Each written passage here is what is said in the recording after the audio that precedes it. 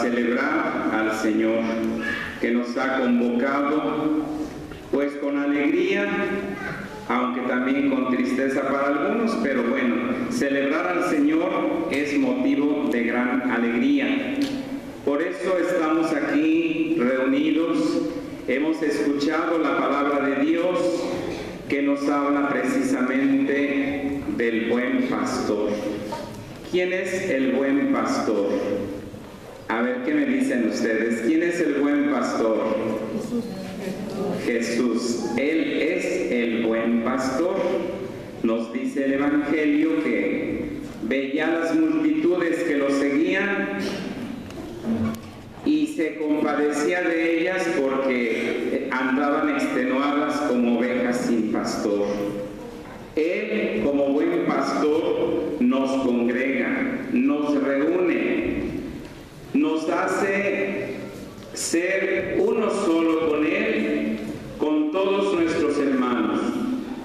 Y eso es lo que va a hacer el Padre Alejandro, ahora que el Señor lo ha destinado para pastorear a esta comunidad, ser un pastor a la manera de Cristo. Tal vez estemos muy lejos de ser pastores como Jesús, pero vamos de ustedes que siempre piden por nosotros, pues vamos tratando de imitar a Cristo Jesús, buen pastor, en las comunidades donde Él nos envía. Padre Alejandro, yo soy testigo de que esta comunidad que hoy te recibe con alegría es una comunidad de gente hermosa, de gente que se entrega sin reservas, de gente que da lo que tiene a la medida de sus posibilidades. El padre Luis Macías es testigo, el padre Maximino también, porque han estado en estas comunidades. Yo solamente venía hace unos 40 años, 38, ya llovió mucho. Venía a estas comunidades todavía con caminos más difíciles que ahora, pero todavía siguen habiendo caminos muy pesados y por eso yo siempre les digo a mis hermanos sacerdotes que están en estas tierras que los admiro, los respeto, porque todo lo que hacen es una verdadera batalla y eso ya es mucho. Tal vez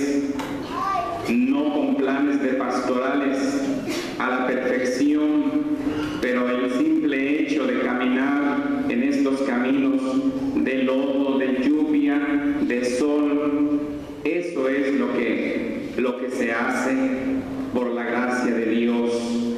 Entonces, hermanos y hermanas que vienen de Tehuacán, de San Pablo Tepetzingo, tengan la seguridad de que el Padre Alejandro se va a sentir a gusto. De momento, a todos nos pasa como humanos, nos acostumbramos con una persona, nosotros también nos acostumbramos con ustedes y la separación. Pero esa es nuestra misión, no podemos nosotros estar en un lugar toda nuestra vida. Vamos peregrinando, caminando junto con ustedes. Entonces, por eso celebramos pues este acontecimiento hermoso, este acontecimiento de gracia. A mí me da gusto venir porque recuerdo esos tiempos en que andaba por aquí caminando. Todavía veo a catequistas todavía de entonces, jovencitas que ahora ya son señoras, ya hasta abuelas. Por ahí está Reina, ya la vi, ya se desapareció, pero está por ahí Reina. Y todas las, ahí está, y todas las demás que pues por ahí andan en sus hogares o en sus casas, donde quiera. Pero me da gusto ver a la gente que todavía me recuerda y que yo también la recuerdo. Entonces por eso le digo al Padre Alejandro que se sienta feliz, se sienta contento y pues van a tener será un gran sacerdote que les va a dar todo también, sus conocimientos, su, su inquietud,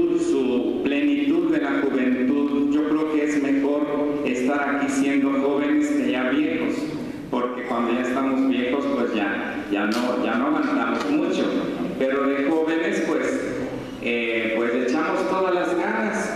Y entonces pues por eso también nos sentimos contentos. Que el Señor los llene de sus bendiciones. A todas las comunidades que forman esta parroquia que han venido, traen sus pancartas, las comunidades que pertenecen a esta parroquia, pues que después de esta celebración a sus comunidades, las bendiciones de Dios, porque necesitamos mucho de las bendiciones de Dios. En estos tiempos también tan difíciles, porque aunque sean estos lugares apartados, hermosos, porque la vegetación es admirable, pero también no deja de, de haber la violencia. Pero pues eso es lo que contra lo que tenemos que luchar ustedes, de familia, en sus hogares, eduquen a sus hijos en el amor a Dios y en el amor a sus hermanos. Sus relaciones con los vecinos, con todos los que conocen, conocen pues con los pequeños detalles vamos tratando de hacer que la violencia sea menos, porque la violencia empieza en la casa. A veces decimos, tanta violencia, tanta muerte.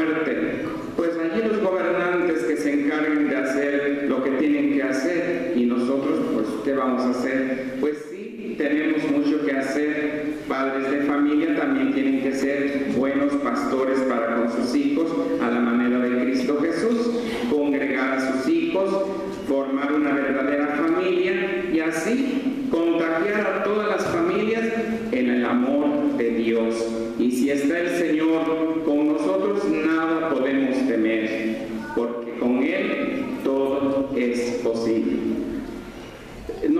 las sino que silva, que das canicamo, bala, que para que chivas que ni fitzintli, y quinto eh, Ni pía seguro de que no, de mi comunidad de Pechilota, en bala que los equimena de PM, Temoptini, un pian papilistli, porque un iselía obsenteo pichi.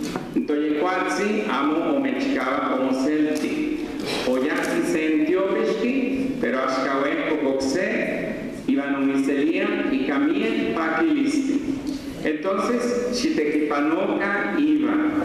Sanfeno Meshnavatis, no me va, si macacanuiki, no mo tiempo toyecuatzi, para